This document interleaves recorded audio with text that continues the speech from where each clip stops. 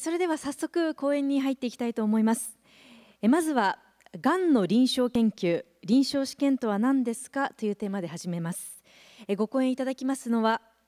近畿大学医学部主要内科教授の中川和彦先生です。中川先生どうぞよろしくお願いします。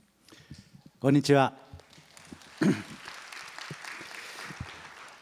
日はがんの臨床試験について皆さんたちとこう考えて見る市民公開講座です。臨床試験って本当に何だろうというふうに思われているだろうと思いますがしばらくお付き合いください。それではスライドいきましょう。今日私はこの臨床試験とは何かということの大まかな流れといいますか総論を皆さんにご紹介したいと思います。でですねこの方誰か知ってますか？これで知ってらっしゃるというような人はあまりいないでしょうね。この人はですねアメリカのジョージ・ワシントンさん初代大統領ですね。でこの人がまあ有名な言葉にこの大統領になった時に新しい政府の頂点に立つにあたってお気持ちはどうですか？と記者の方に尋ねられた時に罪人が形状に護送されてる時の気持ちに似たようなものだというふうにお答えになったというのは有名なお話です。でも今日の話とは全然関係ないですね。ででですねところでこのジョージ・ワシントンさんが何の病気で亡くなられたかご存知の方いらっしゃいますか？実はですね出血多量のショックで亡くなられたんですなんか事故にあったのか違うんですねこう遮血といって医者がこう人為的に大量の血を抜いたんですよ。でそれでショックになって死んじゃった。なんかこの人はあ気管支喘息なのか気管支肺炎なのか、まあ、そういったものだろうというふうに言われているんですけれども重い病気になられまして治らない。でそういう時にこの時代何が標準療法だったかというと遮血なんです。2リッターから、まあ、具合の悪い時に4リッターぐらいの血液が抜かれたというふうに言われています。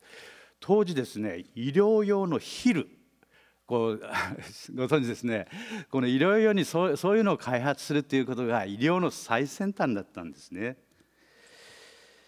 この時代は何が特徴かというと治療法を比較することが許されない時代だったんです。これは本当に暗黒の時代というふうに言うことができるでしょう。ある偉い先生がこうだと言えばこうこうだという人がいればこうしかしそれがどっちが本当なのか比較することができない暗黒の時代だったんです。この人は誰でしょう？ナイチンゲールさんです。白衣の天使、えー、ナイチンゲール精神。まあ、クリミア戦争に、えー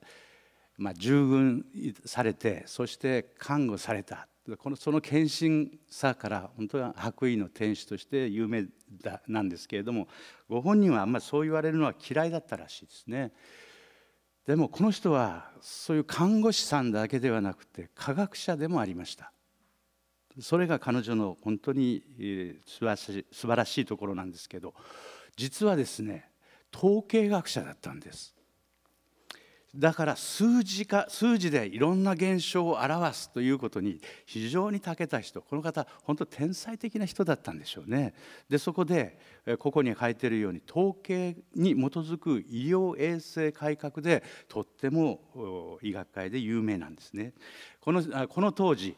兵舎、まあ、傷ついた兵士の人たちが担ぎ込まれる病院が戦地にあったわけでありますけれども多くの人が亡くなられていたしかしそれは負傷によって亡くなられるんじゃなくて不衛生によって広がる蔓延する感染症で亡くなられているんだというのが彼女が彼ら兵士たちを見て感じたことだったんです。でそこで軍の衛生委員会の組織を推しまして衛生活動を徹底しようということでトイレをこう掃除する人たちもあんまりいなかったんでそういう衛生活動を徹底したんですね。でそうするとこの、弊社病院での死亡確率が42%あったものがわずか3か月で5%に下がったというそういうここで言いたいのはこの方は数値で何かをこう改善することによってこんなふうに改善しましたよというふうに数値で比較したということです。しかしあのそしてもう一つこう歴史的にとっても大事な人は解決病の治療を発見したジェームズ・リンドという先生です。解決病って何かビタミン C が不足することで、まあ、毛細血管が脆弱になって弱くなって、まあ、出血とか浮腫とかいろんなことをきたして死に至る病で大変恐れ出ていました。この時代この船で航海をすることがもう非常に先端事業になっていたところで、えー、船乗りがよくこれにかかったわけであります。そこでやっぱり食事が問題だろうということでこの先生はこのルーズルーズベリー号ということに乗り込んでそして出向して12人の患者さんを発見したわけです。偉いのはこの人は当時これこんなふうにしたらいいんじゃないかと言われている6つの方法を2人ずつ非常に少ないんですけれどもある人にはサイダーある人にはアルコール性の強壮剤。そして2人には食料の酢。そして2人には海水。これよく用いられたらしいんです。そしてお二人には毎日オレンジとレモン。1個。そして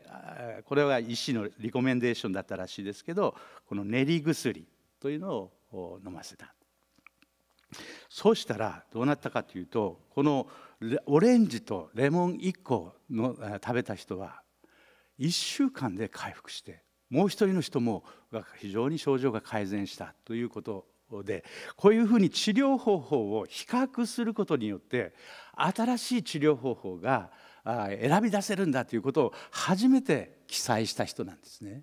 ところが驚くべきことにこの時代は比較を許さない時代だったんです。それでこの論文は書かれましたけれども40年間日の目を見ることができなかった。そういう歴史がございます。つまり私たちがここで今論じている臨床試験というのは比較をすること異なる治療方法を比較してどちらがいいのかを選び取る操作であるということなんです。そしてそういう比較試験臨床比較試験を中心とした臨床試験が最も信頼できる医療情報であってそして皆さん方がまた医師がこう治療法を選択する唯一のもしくはもう非常に重要な判断材料になるんだということです。そして今日のメインのテーマであります新しい治療方法をどうどういうふうに探すか。その最も迅速で確実な手段それが臨床試験であるということなんです。私はもうこれで大体話すことが終わったようなもんですが少し噛み砕いて話しましょう。よくモルモットか臨床試験に入る人と比較をするということは俺は俺たちはモルモットかというふうに言われるんですけど違います。大切な人間です。で臨床試験というのは大切な人を幸福にするための非常に重要な手段なんです。しかしその面ある反面こう比較をしていろいろするということは実験的な治療であることもまたその通りであります。でもですね比較しなければ先ほどお示したようにあの暗黒の時代に戻ってしまうんです。私たちが進歩するためには比較試験を行っていく必要が絶対的にあるのです。そしてもう一つ皆さんたちによく覚えていただきたいのはこの臨床試験が根付いてきた今の社会というのは長年にわたる先ほど示した幾人かの人たちだけではなく多くの先達の長い年月をつの結果としてですね勝ち得た私たちの権利なんです。ですからこれをこの権利を使って私たちは社会をもっともっと多くの人たちを幸福にしていく必要があるのです。じゃあその臨床試験に入った人たちはの権利は守られるのか。私たちはただ奉仕のために入るのであって私たちの権利はもう放棄すべきなのか。いやそうではありません。臨床試験に入られてもその権利は守られます。それはですね倫理性。この臨床試験を行うためには倫理的でなければいけない。患者さんが守られなければいけない。科学的でなければいけない。結果が出なければいけない。そして安全性が確保だけされなければいけない。これらはいろんな側面で審査されます。そして、同意説明文書という文書で詳しく皆さんたちに説明されます。参加は自由です。いつでもこれは拒否することができますし拒否して何か言われたらそんななんかこう不利益を言われるようなことがあればその病院はもうとんでもない野暮医者です。いつでも辞めることができます。一旦参加してもいつでも自分があ嫌だと思ったら辞めることができます。いつも自由意志で皆さんたちは参加することができるんです。しかし危険性は当然のことながら日常のがん診療でもあるように治験でもあります。一旦入って治療を受けてそれで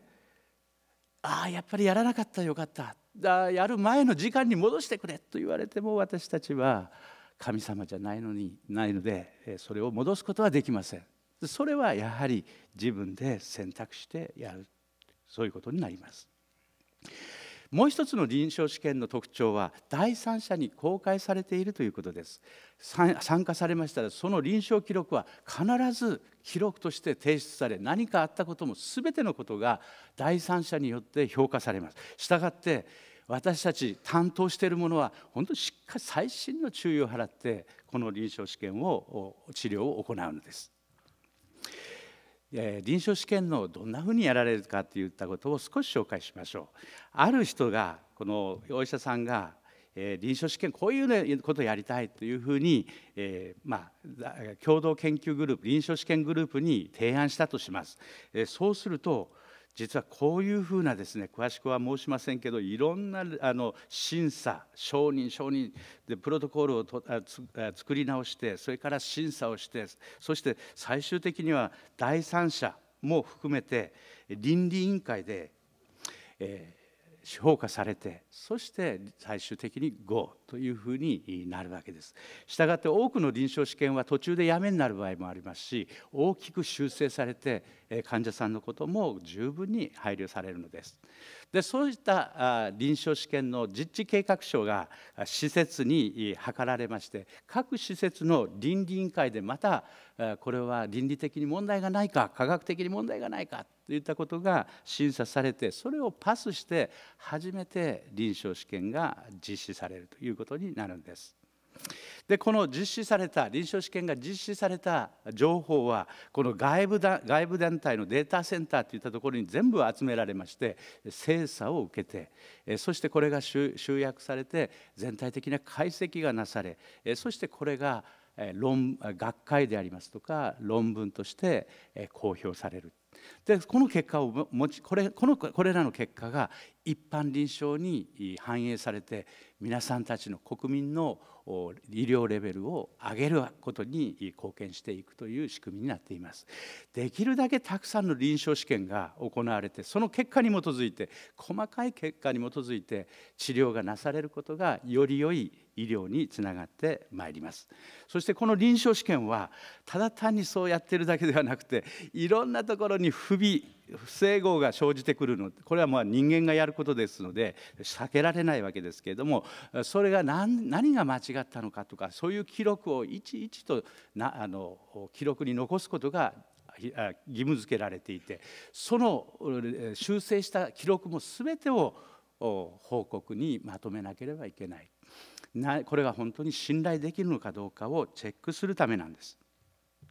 まあ、そういうこともありまして臨床試験はたくさんの人で人材が必要とされ比較的長い時間が要求されるということがお分かりになるでしょう。日本の場合は医師は手弁当で、まあ、外国もそうかもしれませんけれども手弁当でやりますそれはより良い治療方法を開発するためには今朝の、えーえー、映画でもありましたように本当にその臨床試験が必要であるということが分かっているためであります。またこういう経験を若い人たちと共にすることはとっても良い経験になります。若い人たちは一つの施設だけではなくいろんな施設の人たちと意見交換をすることができることは大変良い教育的な場にもなるのです。莫大な資金がこれにはかかりますしかしながら日本政府は認証試験に対してあまりお金を出しませんしたがってまあ、製薬企業であるとかいろんなあ、まあ、企業からお金を寄付していただくことが必要となります。これがいいかどうか分かりませんが非常に透明な形でこれを公開することによって正しい臨床試験の結果を導き出そうというふうにしているわけです。これは WJOG の場合ですけど。で施設の、まあ、インフラといいますか臨床試験をやるこの環境があまり日本ではよくありません。皆さんたちはもう政府とか行政によく言っていただいて基幹病院のそういうインフラ整備にお金をお金を使いなさい人手を上げなさいということをおっしゃっていただきたいと思います。現在そこでやっている医師や看護師やそういった人たちは大変苦労をしています。このような臨床試験が最も信頼できる医療情報であることは確かです。でそれを信頼できるためにはどうしたらいいかということですがこの臨床試験というとこうどういうふうな分類になっているかということが分かりにくいという意見もあります。え臨床研究全体えこれ人を使った人の情報をまとめて報告することそれを全体を臨床研究というふうに言います。でその中であらかじめ計画された試験計画書に基づいて前向きのそれ前向きの治療をやっていく試験をこう臨床試験というふうに言っています。その中には承認を厚生労働省に対して承認を申請をすることを目的とした治験とそうでない医師主導いわゆる臨床試験とかに分けられるということであります。でどういう情報がその、信頼できるかというと、まあ、人での情報がもう絶対的に必要である臨床試験のデータそして、えーえー、登録、まあ、そこに扱われる患者数というのは多ければ多いほど信頼できるということになります。前向きのあらかじめ計画された臨床試験が非常に重要な位置を占めます。そして比較した試験、まあ、一つだけの比較されない臨床試験もありますけれどもいう、まあ、比較する試験というのが非常に極めて有用な試験となります。プラセボ効果ということもこの臨床試験の中では大変重要な位置を位置づけになります。例えば私たちは例えば針で治療したらああ良くなったとかいうふうに思いますけれども何かこう治療を受けるともしくはこれは血小板を上げる薬ですよと言って、人に投与されるとそれがそういう作用のない全く違う偽薬であったとしても多くの場合本当私たちの生体は反応してしまって血小板が上がるんです。ですから本当に薬剤の力薬効があるかどうかということはよく整備された臨床試験によって吟味される必要があるのです。臨床試験を比較性を保つためにはその前のいくつかの段階を踏まなければいけません。というのはちゃんとした有効性と安全性が確保されないと大規模の比較試験は行うことができないからです。いわゆる第一層試験今日のハーセプチンの第一層試験フェーズ1スタディというのが出ていましたけれども比較的少数の患者さんで、え行われます。いう投与量を段階的に上げてそしてこれだったら安全に投与できるだろうというあの最大対応量といいますけれども投与量を設定しますその次の第2層フェーズ2というのが出てきましたが第2層試験では有効性と安全性をよもっと多くの患者さんで、えー、中規模の試験で確かめます。えー、そして、えー、このその次に、まあ、場合によってはその中規模の比較試験といって比較第二層試験というのをやりましてえそしてこれは第三層比較試験に移行できるかどうかということをやってえこの大規模なあ臨床第三層試験500人から1000人をこの対象としたようなそういう試験に発展さしていくわけです。ここがこの大規模臨床第三層比較試験が一番大事なのです。ここに今示したような基礎研究から1層2層3層というふうにこのあの変わっていくわけですけれどもその信頼性はこの層が増し加えられて、えー、情報量が上がっていくほどその信頼性グリーンで示しました信頼度は上がってきます。しかしながら我が国ではだんだんその期待度というか関心度は下がってくる傾向にあります。もちろんこの実験的な要素というのは早い段階の方が大きくてだんだんと少なくなってきます。この第三層比較試験を終わったところでこの結果が有用であるというふうに示すことができれば承認をされるということになります。多くの日本のマスコミはこの早期の基礎研究であるとか第一層試験のデータをこう盛んに、まあ、センセーショナルに報道します。しかし本当に大事なのはこの第三層比較試験のデータです。皆さんもこう目を光らせてそのデータを見ていただきたいと思います。臨床試験に参加するかどうか迷うなという人がいますがこれは全ての人が参加しなければいけないとかできるとかそういったことではありません患者さんの置かれている状況によってそれは違ってきますし患者さんの人性格それから人生観不安がとても強い人弱比較的こうチャレンジをしてみよう、まあ、そういういろんなバランスそのバランスによって参加されるかどうかということがま決まってくるでしょう。これは一つの例として、私は肺がんの専門家なので EG 後で三富先生が詳しくは説明されますが EGFR の遺伝子変異のない進行非小細胞肺がんの患者さんがの例を示します。一次治療の標準治療まあ、推奨されている治療は白菌製剤を含む二剤併用療法です。これが効かなくなりますとペメトレキセドとかもしくはドセタキセルという抗がん剤が推奨されています。でこの二次治療までは確立されているんですけれどもこの後の三次治療以降に関してはいくらたくさんこの候補はあるんですけれどもまだ確立されていないという状況になります。でそこでこの標準療法一次療法の患者さんにおきましてもこの標準療法と比較して新しい分子標的薬を加えたものと比較するもしくは別な新しい分子標的薬をその標準療法に追加したものを比較するといったことが選択肢として、えー、なります。また二次治療では標準療法のこのペメトレキセドはもしくは、えー、ドセタキセルもしくはこういう EGFR のチロシンキナーゼ阻害剤と言われるものに新規の分子標的薬を追加するした試験というのがこの比較をする対象になってくるということになります。3次治療以降であればあ、まあ、こういった選択肢もありますけれども新しい先ほどのフェーズ1スタディこの一番最初に人に投薬される試験ですけれどもそういうのに参加することもいい治療選択になるということになります。もしくはそのこの肺がんの患者さんが最近発見されましたアルク遺伝子という異常これも三富先生が後で詳しくお話しされますけれどもそういう異常のある方であればアルク阻害剤の臨床試験に参加されるといったことはどこの段階でもその選択肢の一つになるだろうというふうに思います。したがってこの治験でありますとか臨床試験というのも、えー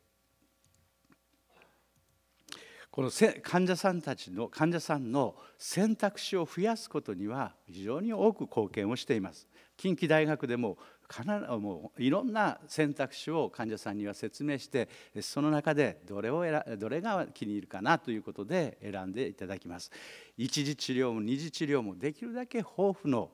選択肢を残したような形で治療をご紹介しているということがあります。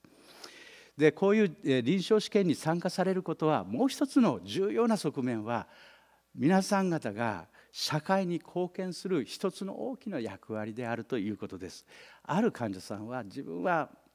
まあ、どれだけ生きられるかわからないけどやはりこれにこの第一層試験に参加することが世の中に貢献することこれは嬉しいというふうに思っているんだということを話してくださる人もたくさんいらっしゃいます。